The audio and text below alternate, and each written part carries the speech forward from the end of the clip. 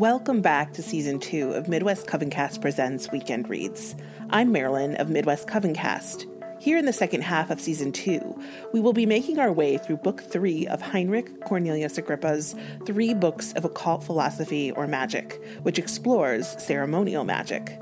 You can find podcast extras for this season and more at MidwestCovencast.com. I hope you enjoy this week's installment.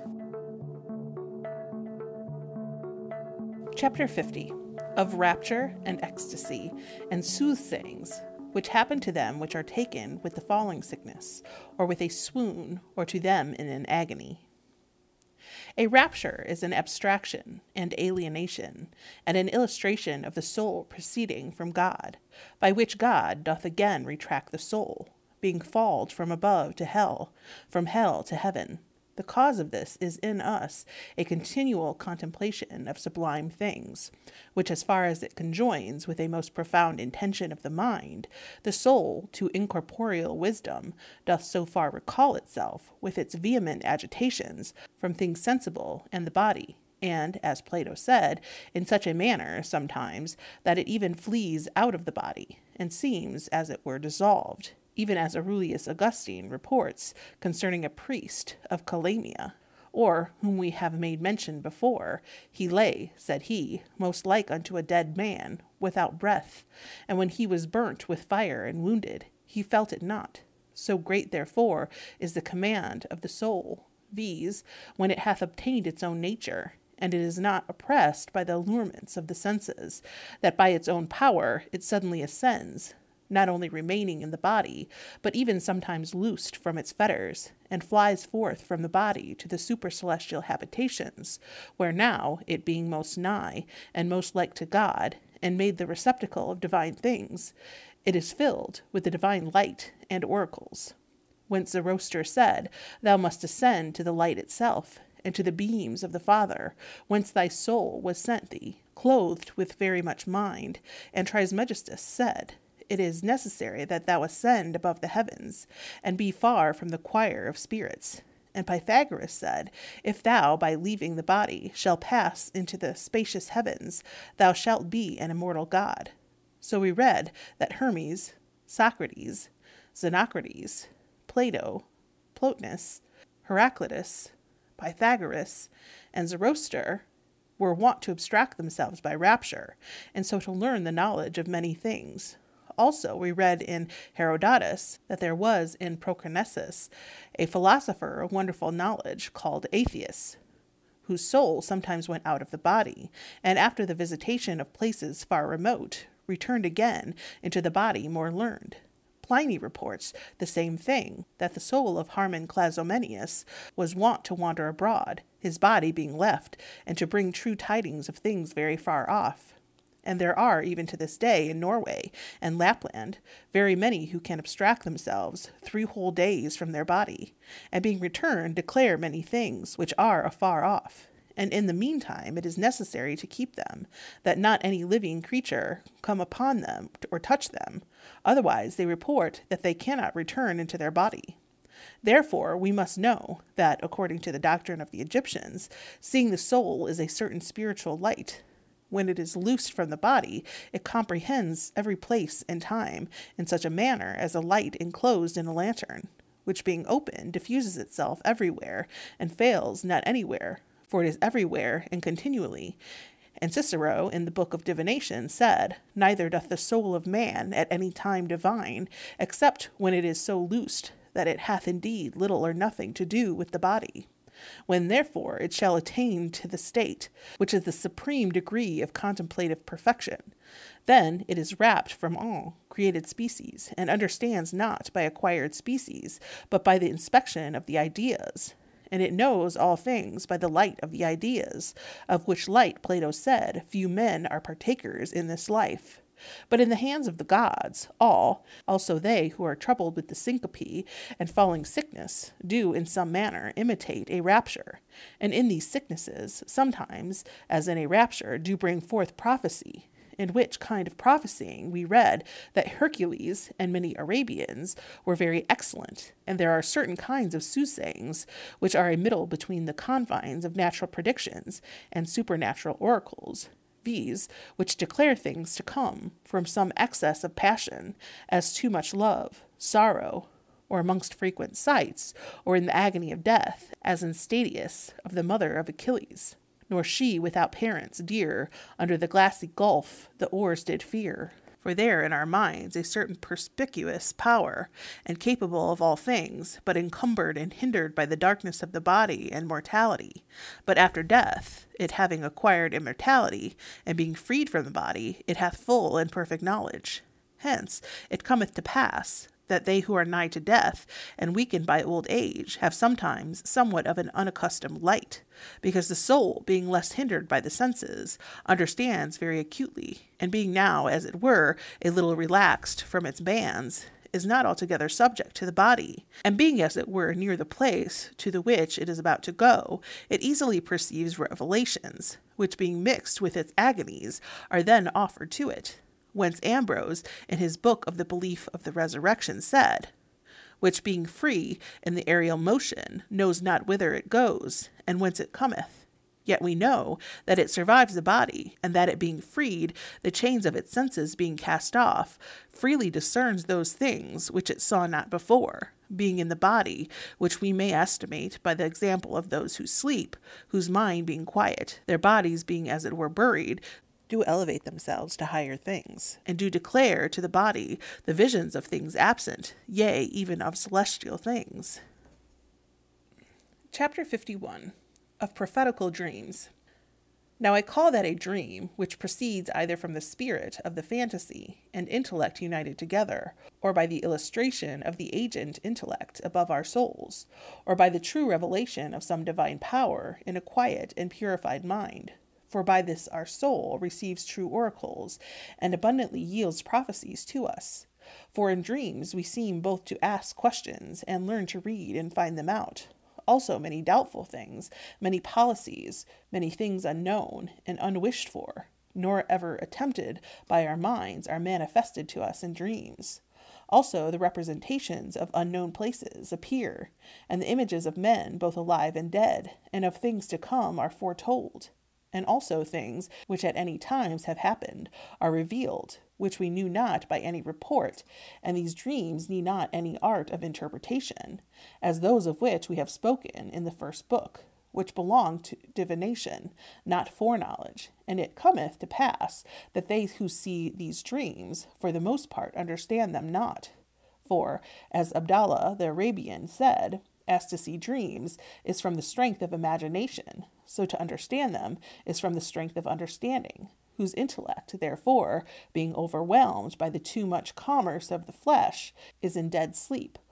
or its imaginative or fantastic spirit is too dull and unpolished, that it cannot receive the species and representations which flow from the superior intellect, and retain them when received this man is altogether unfit for the soothsaying by dreams. Therefore, it is necessary that he who would receive true dreams should keep a pure, undisturbed, and undisquieted imaginative spirit, and so compose it that it may be made worthy of the knowledge and government by the mind and understanding.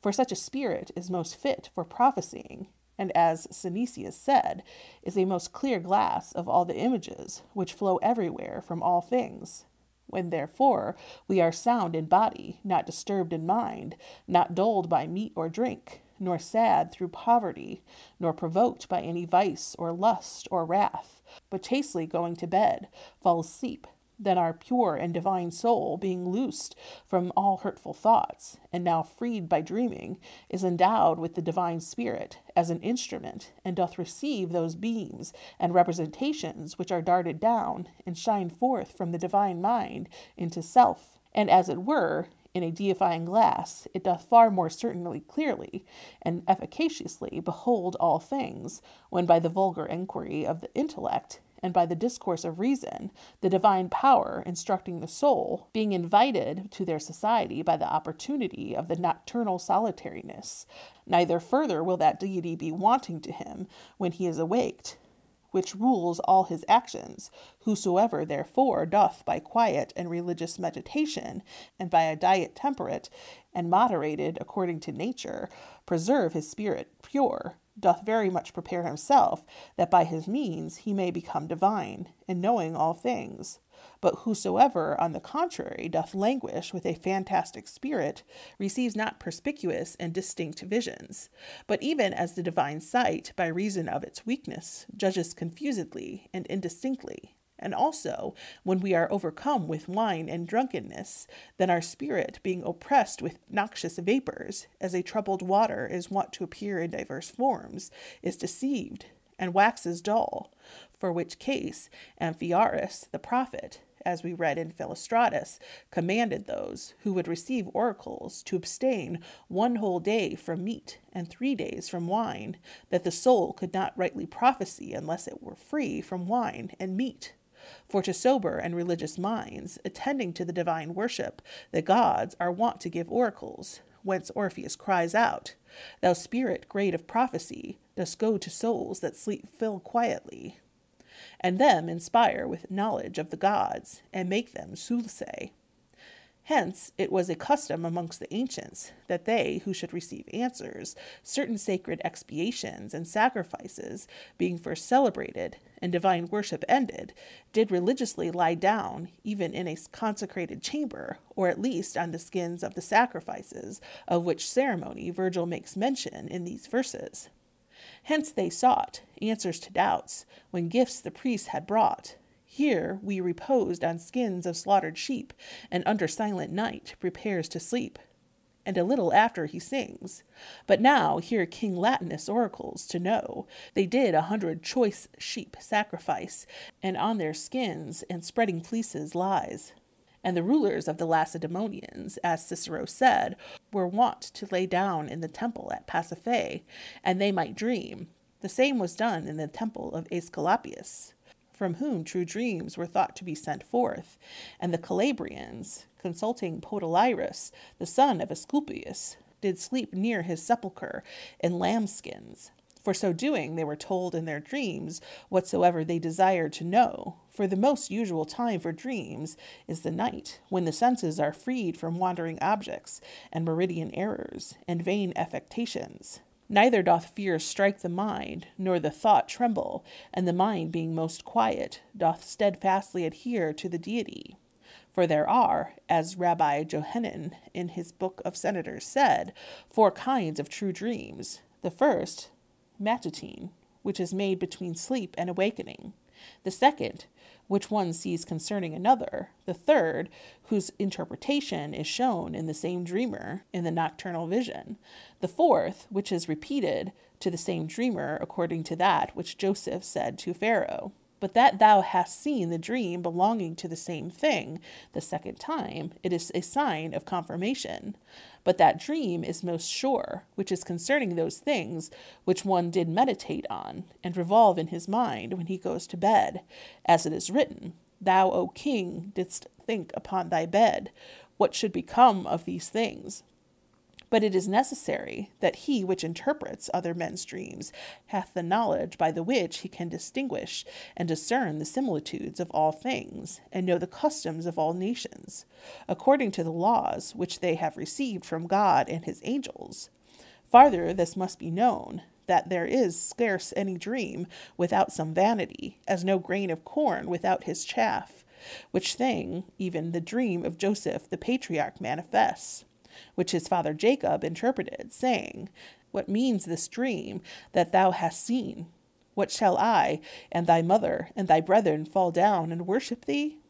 Which effect concerning his mother, who shortly after died, followed not. Also, Rabbi Johanan, in the four-sided book, said these things, and also Rabbi Levi affirms that no prophetical dream can be kept back from his effect longer than 22 years. So Joseph dreamed in the 17th year of his age, which was accomplished in the 39th year of his age. Therefore, whosoever would receive divine dreams, let him be well disposed in body, his brain free from vapors, and his mind from perturbations, and let him that day abstain from supper, neither let him drink that which will inebriate, let him have a clean and neat chamber, also exercised and consecrated, in the which a perfume being made, his temples anointed, things causing dreams being put on his fingers, and the representation of the heavens being put under his head, and paper being consecrated, his prayers being said, let him go to bed, earnestly meditating on that thing he desires to know. So he shall see most true in certain dreams, with the true illumination of his intellect. Whosoever, therefore, shall know to join together those things which here and there we have delivered concerning this matter in these books, he shall easily obtain the gift of oracles and dreams. Chapter 52 of Lots and Marks possessing the sure power of oracles. There are also certain lots having a divine power of oracles, and as it were indexes of divine judgment, being before sought for by earnest prayer, and sometimes commanded by God Himself to be done, as is read in Leviticus concerning a goat to be offered to the Lord, and of the scapegoat, and in the book of Numbers of the rods of the tribes of Israel. Now both Moses and Joshua did by lots in the presence of the Lord divide the lands and inheritances to the tribes of Israel according to the command of God. The apostles of Christ, prayers going before, did by lot choose Matthias into the place of Judas the traitor. Jonas the prophet, when he, flying from the presence of God, did sail to Tharsis, a dangerous storm being raised, was by lot found out by the mariners to be the cause of the danger, and being cast into the sea, the tempest ceased. Caesar reports of M. Valerius Procillus being taken by his enemies, concerning whom it was consulted whether he should be presently burnt or reserved to another time, that by lot he escaped safe. There was formerly at Bura, a town of Achaia, an oracle of Hercules, constituted by a chessboard, where he that went to consult of anything, after he had prayed, cast four dice, the cast of which the prophet observing did find written in the chessboard what should come to pass. Now all such dice were made of the bones of sacrifices. Now this you must know that the ancients were not wont upon every slight cause to cast lots, but either upon necessity or for some advantageous end, and that not but with great devotion, reverence, expiations, fasting, purity, prayers, invocation, vows, sacrifices, consecrations, and such like sacred mysteries of religion. For these sacred ordinances were wont to go before our works, especially to procure the divine goodwill and pleasure and the presence of the divine spirits, by whose dispensation, the lot being directed, we may receive a true judgment of the things sought for. Everyone, therefore, that works by lots must go about it with a mind well disposed, not troubled nor distracted, and with a strong desire, firm deliberation, and constant intention of knowing that which shall be desired. Moreover, he must, being qualified with purity, chastity, and holiness towards God and the celestials, with an undoubted hope, firm faith, and sacred orations, invocate them, that he may be made worthy of receiving the divine spirits and knowing the divine pleasure, for if thou shalt be qualified, they will discover to thee most great secrets by virtue of lots, and thou shalt become a true prophet, and able to speak truth concerning things past, present, and to come, of which thou shalt be demanded.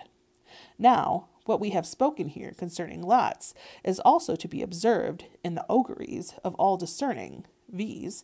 when with fear, yet with a firm expectation, we prefix to our souls, for the sake of prophesying, some certain works, or require a sign, as Eleazar, Abraham's countryman, and Gideon, judge in Israel, are read to have done. There was once at Pharis, a city of Achaia, in the middle of the market, a statue of Mercury,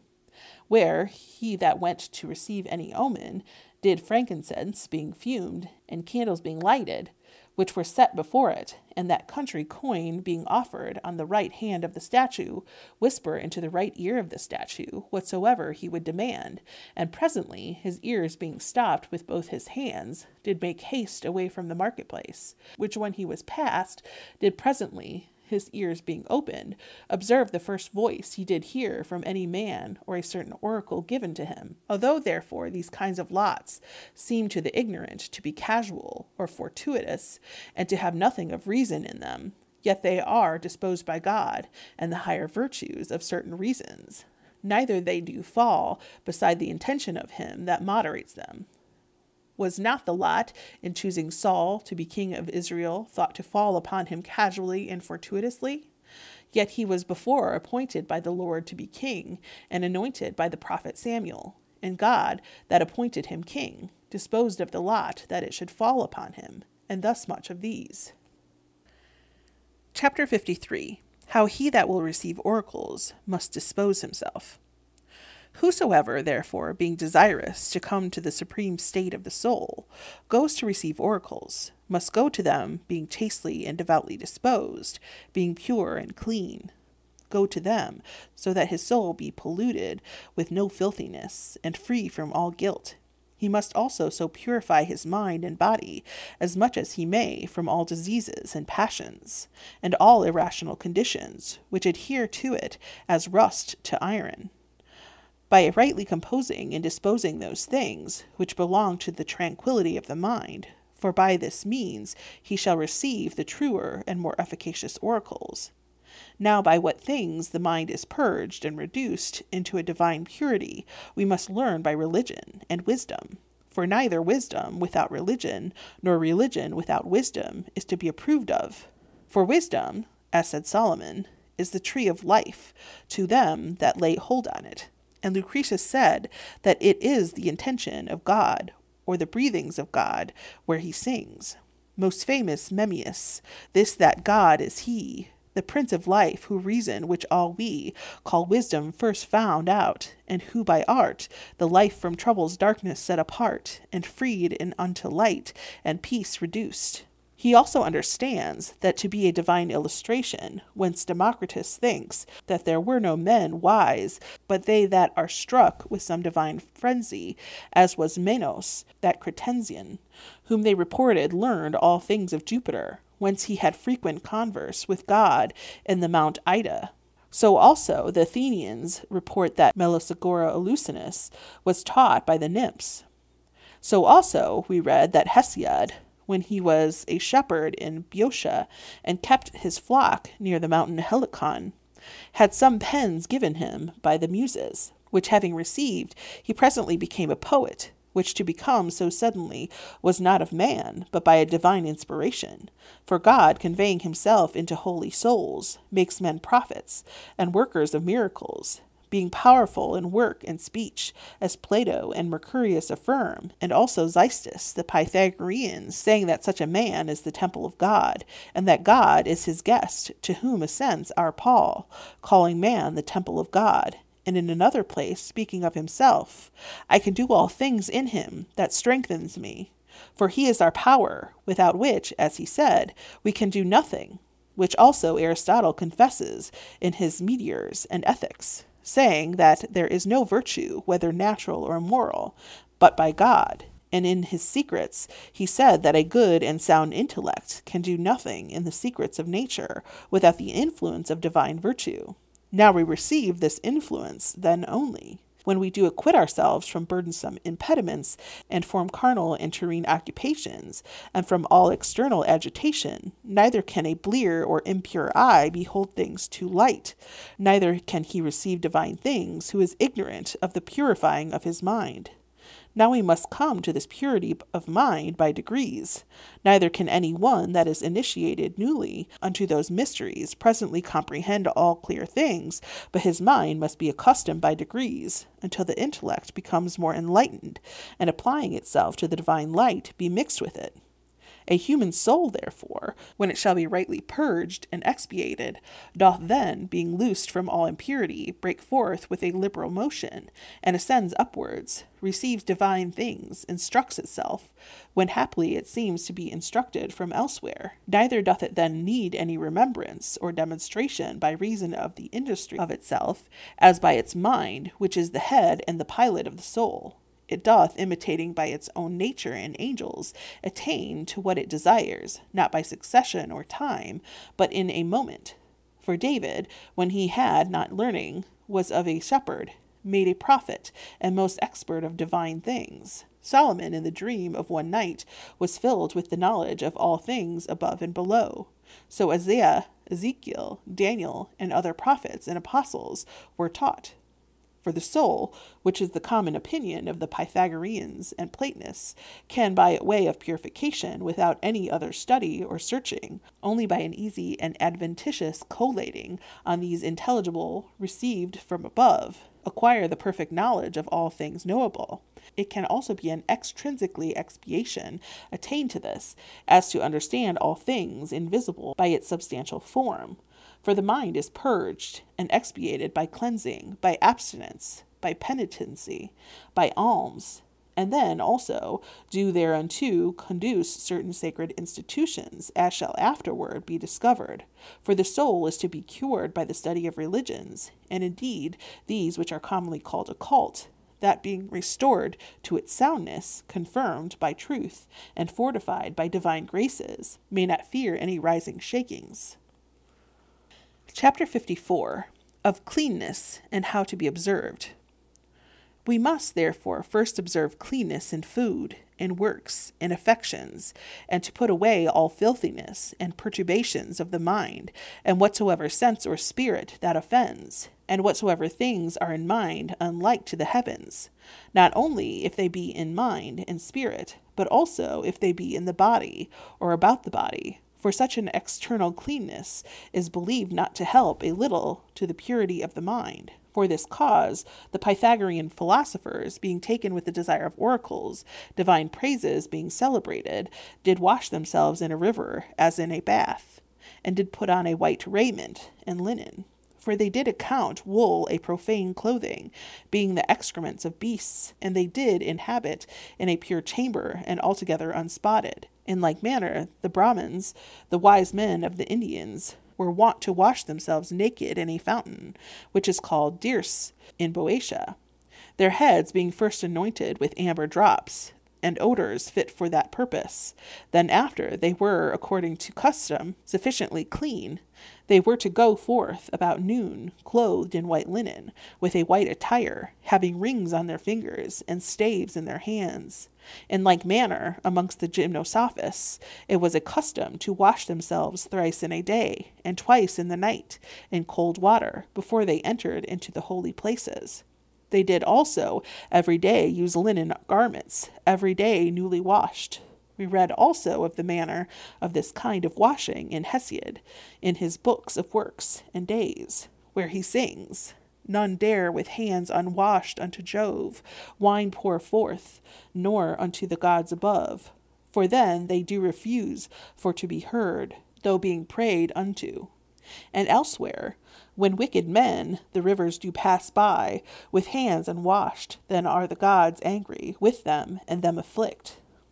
Hence in Virgil, Aeneas thus speaks to his father O father, take the household gods, and hold them in thy sacred hands, and be so bold as them to handle after so great fights. I dare not till that washed in streams most bright. It was also a custom amongst the Gentiles, when they were wont to perform any holy services to the gods, to cleanse their bodies by washing, and when they were to contend with the infernal gods, sprinkling only did suffice. Hence, in Virgil, Dido, when she did perform any solemnities to the gods, said, Cause that my sister Anne, my nurse most dear, come and my body wash with water clear. And in another place where Aeneas is brought in amongst the infernal bringing a bough to Proserpina, he sings thus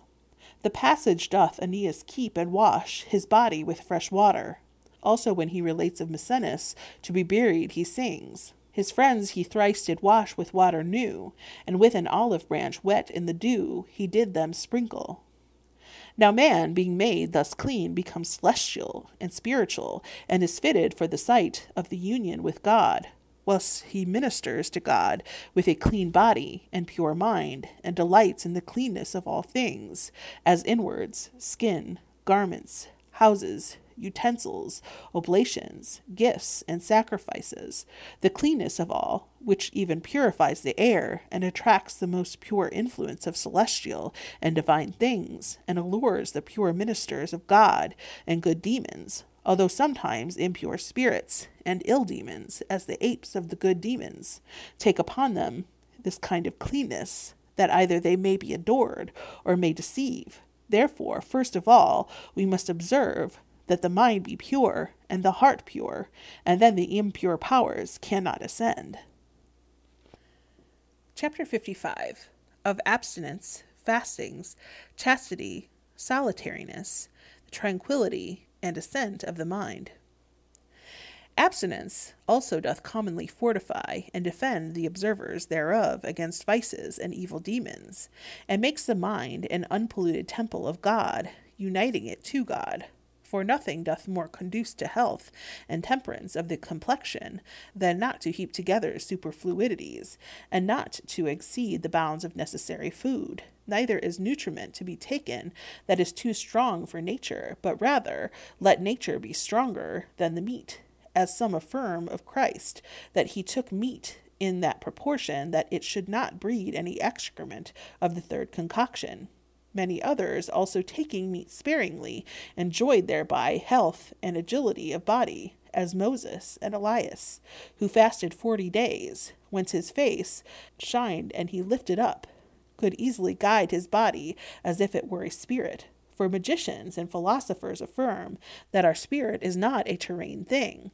or body nourished by nutriment received through certain organs by the concoction of meat and drink, but draws in their ailment like sponges through the whole body, viz., from the thin vapors penetrating the body on all sides. Therefore, they that desire to have the spirit pure and potent, let him use drier meats, and extenuate this gross body with fasting and they make it easily penetrable, and least by the weight thereof, the spirit should either become thick or be suffocated. Let them preserve the body clean by lotions, frictions, exercises, and clothings, and corroborate their spints by lights and fumes, and bring it to a pure and thin finesse. We must, therefore, in taking of meats, be pure and abstinent as the Pythagorean philosophers, who keeping a holy and sober table did protract their life in all temperance. The temperance, therefore, of life and complexion, because thereby no superfluous humor is bred, which may dull the fantasy, makes that our soul, oftentimes dreaming and sometimes watching, is always subjected to the superior influences.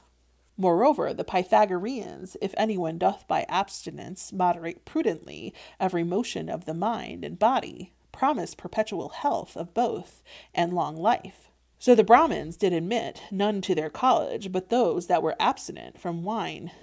from flesh and vices, saying that none could understand God, but they that emulate him by a divine conversation which also Phraotes and Philostratus taught the lower Indians. Moreover, we must obtain from all those things which infect either the mind or spirit, as from covetousness and envy, which are handmaids to injustice, as Hermes said, enforcing the mind and the body to evil practices also from idleness and luxury, for the soul being suffocated with the body and lust cannot foresee any celestial thing.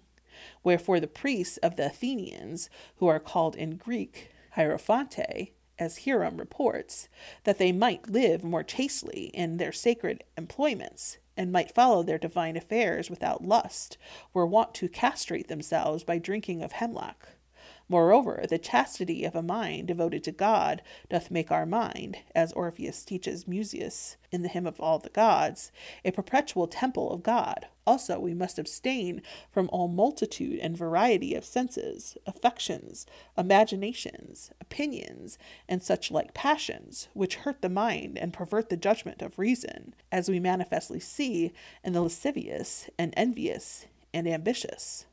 Wherefore Cicero, in his Tusculan's questions, calls these passions the sicknesses of the mind, and the pestiferous diseases thereof, but Horace calls them furies or madness, where he sings, Girls have a thousand furies, so have boys. The same also seems to be of opinion that all men are fools in something, whence is read in Ecclesiasticus, There are an infinite number of fools. Therefore, the Stoics deny that passions are incident to a wise man. I say such passions which follow the sensitive apprehension, for rational and mental passions they yield a wise man may have. This opinion did Boethius seem to be of, where he sings that some passions are to be laid aside in the inquisition of truth in these verses. If truth thou wouldst discover with clear sight, and walk in the right path, then from thee quit. Joy, fear, grief, hope expel, for where these reign, the mind is dark and bound. We must therefore quit and avert our minds from all multitudes, and such like passions, that we may attain to the simple truth, which indeed many philosophers are said to have attained to in the solitude of a long time. For the mind, by solitude being loosed from all care of human affairs, is at leisure and prepared to receive the gifts of the celestial deities. So Moses, the lawgiver to the Hebrews, and the greatest of prophets, and learned in all the knowledge of the Chaldeans and Egyptians, when he would abstract himself from senses, sent into the vast wilderness of Ethiopia, where all human affairs being laid aside, he applied his mind to the sole contemplation of divine things in which thing he so pleased the omnipotent God that he suffered him to see him face to face, and also gave him a wondrous power of miracles, as sacred writ testifies of him. So Zoroaster, the father and prince of the magicians, is said to attain to the knowledge of all natural and divine things by the solitude of twenty years when he wrote and did very strange things concerning all the art of divining and soothsaying. The like things do the writings of Orpheus to Musaeus declare him to have done in the deserts of Thracia. So we read that Epimenides of Crete because learned by a very long sleep, for they say that he slept fifty years, i.e., to have lay hid so long, Pythagoras also, in like manner, to have lain hid ten years, and Heraclitus and Democritus, for the same cause, were delighted with solitariness. For by how much the more we have relinquished the animal and the human life, by so much the more we live like angels and gods, to which being conjoined and brought into a better condition, we have power over all things, ruling over all. Now, how our mind is to be separated from an animal life and from all multitude, and to be erected until it ascend to that very one, good, true, and perfect, through each degree of things knowable and knowledges. Proclus teaches in his commentaries upon Alcibiades, showing how that first sensible things are to be shunned, that we may pass to an incorporeal essence, where we must exceed the order of souls, yet multiplied by diverse rules, habitudes, and various proportions, many bonds, and a manifold variety of forces, and to strive after an intellect, an intelligible kingdom, to contemplate how far better these are than souls. Moreover, we must bear an intellectual multitude, although united and individual, and come to the superintellectual and essential unity, absolute from all multitude, and the very fountain of good and truth. In like manner, we must avoid all knowledge that doth any ways distract and deceive, that we may obtain the most simple truth. The multitude, therefore, of affections, senses, imaginations, and opinions is to be left, which in itself is as different as some things are contrary to others in any subject. And we must ascend to sciences, in which, although there be a various multitude, yet there is no contrariety. For all are knit one to the other, and do serve one to the other, under one the other, until they come to one, presupposed by all, and supposing none, beyond it to which all the rest may be referred Yet this is not the highest top of knowledges, but above it is a pure intellect. Therefore, all composition, division, and various discourse being laid aside, let us, ascending to the intellectual life and simple sight, behold the intelligible essence with individual and simple precepts, that we may attain to the highest being of the soul, by which we are one, and under which our multitude is united. Therefore, let us attain to the first unity, from whom there is a union in all things, through that one which is the flower of our essence, which then at length we attain to, when avoiding all multitude, we do arise into our very unity, are made one, and act uniformly. Chapter 56 Of Penitency and Alms. Now, the greatest part of purgations is a voluntary penitence for faults, for, as said Seneca in Thyeste, he whom it grieves that he hath offended is in manner innocent. This brings to us the greatest expiation, whilst it opposes afflictings to delights and purges out of the soul a stupid joyfulness, and gives a certain peculiar power, reducing us to the things above. Penitence, therefore, is not only a mortification of vices, but a spiritual martyrdom of the soul, which with the sword of the Spirit is on all sides mortified. Now, the sword of the Spirit is the word of God, whence Jeremiah the prophet said, and also Paul, writing to the Ephesians, Cursed is he that withholds his sword from blood. And the psalmist sings, A sword is in their lips. Therefore, our cogitations, affections of our mind, and all evils that proceed from our heart and mouth must be uttered to the priest in confession, that he may, according to the word of God, judge those things, and according to the power granted to him by God, penitence being joined with it, may purify and purge them, and direct them to that which is good. Neither is there found in religion, for the expiating heinous offences, a stronger sacrament hence the gods themselves, Ovid in Pontus being witness, do often cease the pains, restore the lights, which were caught away when that mortal waits, they see repenting of their sins. There is as yet another sacrament of expiation, viz., almsgiving, of which, as I remember, I have read very little in philosophers, but the very truth taught us that saying, Give ye alms, and all things shall be clean to you, and in Ecclesiasticus it is read, As water extinguishes fire, so alms doth sin. And Daniel taught the king of Babylon that he should redeem his sins by alms. And the angel Raphael testifies to Tobias, because alms frees from death, and is that which purges sin, and makes us find eternal life. Hence Christ commanded us to pray to the Father, Forgive as we forgive others, give us as we give to others. Of which he said in another place, Ye shall receive an hundredfold, and shall possess eternal life. He shall, when he comes to judge the quick and the deed, upbraid the wicked above all things, for their neglect of alms and works of mercy, when he shall say, I was hungry and thirsty, and ye gave me neither meat nor drink. And in another place he speaks of the poor. What ye have done to any one of them, ye have done to me. Which Homer also seems to be sensible of when he brings in a young man wooing Antinoe, saying these words, Antinoe, now plausibly hast thou slain a poor beggar, he shall destroy thee if God be in heaven, for the gods themselves, being likened to strangers and guests, go out into the whole world, overturning cities, and beholding the injuries and wickedness of men. Chapter 57 Of those things which, being outwardly administered, conduce to expiation.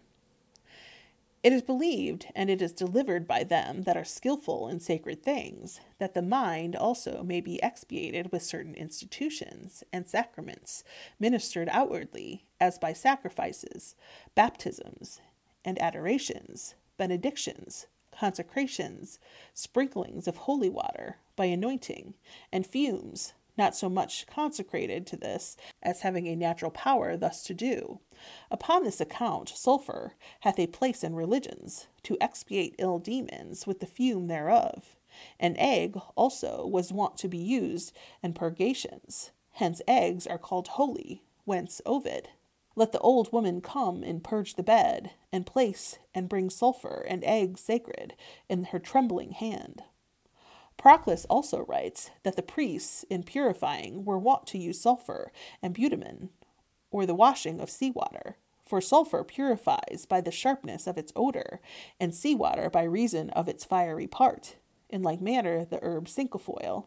wherefore by reasons of its purity, an ancient priests did use it in purifications, also the boughs of olives, for these are said to be of so great purity that they report that an olive tree planted by an harlot is thereby for ever made unfruitful, or else withers.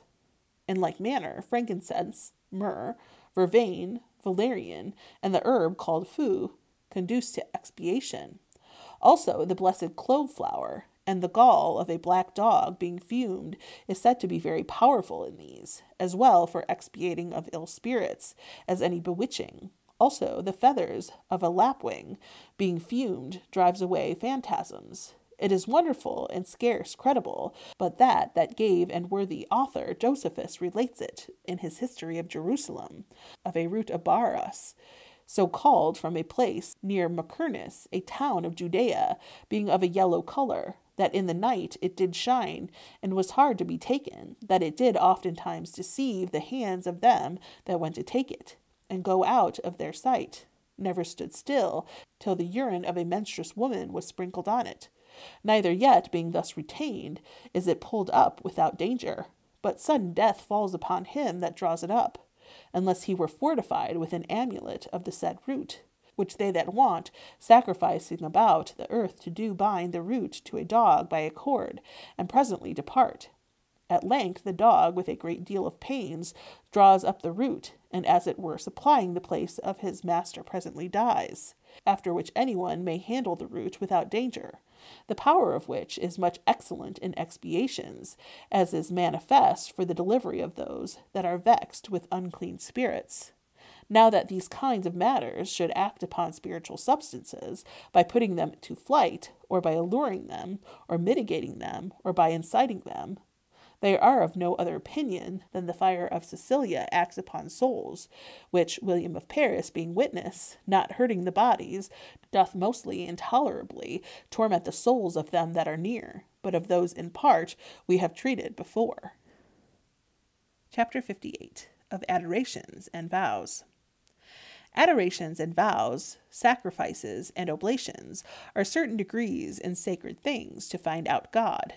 and those things which principally provoke the divine pleasure and procure a sacred and indissoluble communion of God with souls. For by prayers, which we utter with true and sacred words, sensibly and affectionately, we obtain a great power, when by the application of them to any deity we do so far move it, that he may direct his speech and answer by a divine way by which, as said Dionysius, God speaks with men, but so occultly that very few perceive it. But oftentimes that king and prophet David perceives it, when he said, I will hear what the Lord will speak in me. Adoration, therefore, being a long time continued, and often frequented, perfects the intellect, and makes the soul more large for the receiving of divine lights, inflaming divine love, producing faith, hope, and sacred manners, purifies the soul from all contrariety, and what is any way adverse to it, and doth also repel diverse evils,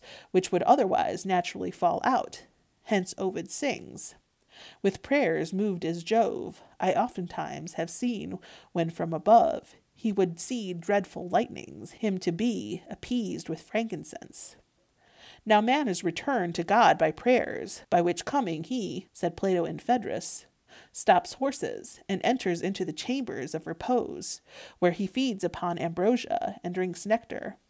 Therefore, they that desire to enjoy any virtue must pray and supplicate often to him who hath all virtue in himself. Now that is the best prayer, which is not uttered in words, but that which with a religious silence and sincere cogitation is offered up to God and that which with the voice of the mind and words of the intellectual world is offered to him. Now a vow is as ardent affection of a chaste mind given up to God, which by vowing wishes that which seems good. This affection, as Iamblichus and Proclus testify, doth so join the soul to God that the operation of the mind and of God is one, viz., of God as an artificer, of the mind as a divine instrument, all antiquity testifies that by vows sometimes miracles are done, diseases are cured, tempests are diverted, and such like. Hence, we read that the most excellent and wise in all nations, the Brahmins of the Indians, the magicians of the Persians, the gymnosophists of the Egyptians, the divines of the Greeks and Chaldeans, which did excel in divine secrets, did apply themselves to divine vows and prayers, and thereby did effect many wonderful things. Now to the perfection of a vow and adoration, for a vow cannot be perfect without an adoration, nor an adoration without a vow. There are two things especially required viz., first, the knowledge of the thing to be adored, and to which we must vow, and in what manner and order, and by what mediums it must be worshipped. For there are various co operators and instruments of God, viz., the heavens, stars, administering spirits, the celestial souls, and heroes, which we must implore as porters, interpreters, administrators, mediators, but first of all him who goes to the archetype God, who only is the utmost term of adoration. The other deities are as it were passengers to that very God. Know therefore that adorations and vows must, with a pure and pious mind, be principally made to that one only God, the highest Father, King, and Lord of all the gods. But when they shall come before to the inferior gods, let the intention of the administration be terminated in them. Therefore, to adorations and vows, when they be directed to the inferior deities, Zoroaster and Orpheus thought fitting that suffumigations and characters should be used. But when they are erected to the majesty of the supreme God, they must not in any wise, which also Hermes and Plato forbid to be done. Whence Hermes to Tatius,